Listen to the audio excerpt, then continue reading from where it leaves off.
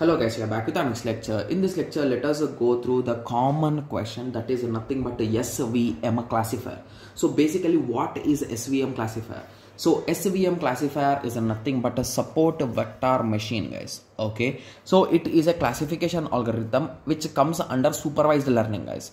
Because of the input data which we are going to give is a pre labeled data. So basically we will be saying that this is the shape this is the shape this is the thing. Like that we'll be defining those things and only then we will be giving guys. Okay? So it comes under supervised learning okay so initially you will be giving the data set. So here we took an example of two symbols.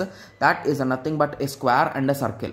So whatever items is having four sides it will be pushing into one side. And whatever are having circles like no sides they'll be pushing on to the other side right? Yes. So initially we will be giving the data set guys. Okay. So this data set is a given to the training model.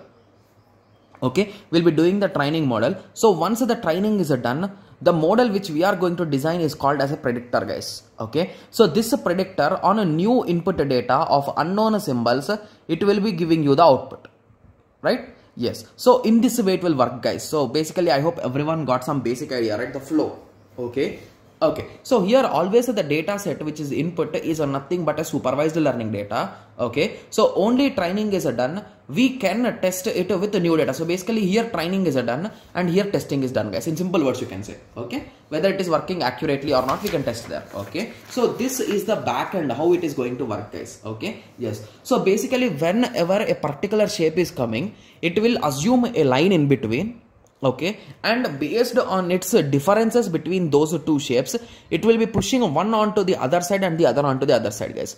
Okay? So if you observe here all the circles are one side and all the squares are on one side right? Yes. Okay? So here how much fr are they? So how much far? Like if they are this much close they are not that much accurate guys. Whereas if they are this much far they are more accurate. So as the distance increases the accuracy also increases. Okay? So so to predict we always place the data at the at the rate timing time of training. So at the rate of the time training we'll be getting data right? So we'll be placing that data in the graph okay? So in a 2d plane and separates the circles and squares okay? So if the distance between them is higher means it is accurate with high.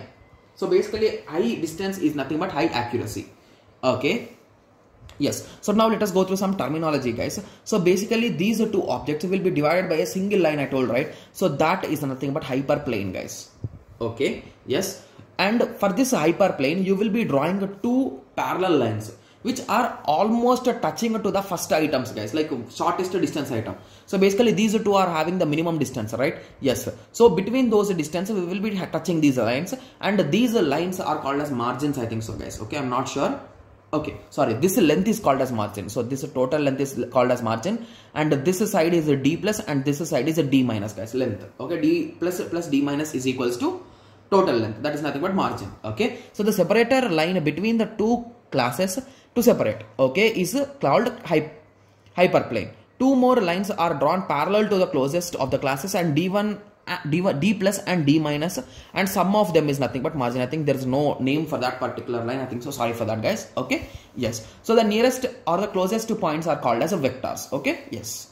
So these things are nothing but this is circle class and this is quadrilateral class guys. Okay. Yes. So this is how the SVM classifier works. So basically it will create a 2D plane graph in which it will be separating each and every object into different different groups and it will be identifying the new thing. So if assume that a circle came in between, so it will be initially at this position, it will observe.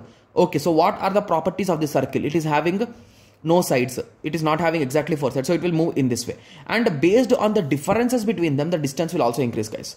Right. So if you give an exact circle, it will automatically it will be at the end. If you give some kind of confusing a bit uh, not a round circle, it will be identifying it as a square also sometimes, right? Yes. So in this way it will work guys. So I hope everyone got some basic idea about this SVM classifier. So in the next lecture we'll be going through the review of this unit like what are the important like every question is important guys because there are really at least a minimum of seven topics in this unit guys. So you can just go through them in an hour right? Yes. So in the next lecture we're just going through a review and after that we'll be starting the fourth unit guys. Okay. So let us meet in the next lecture. Thank you. Thanks for watching.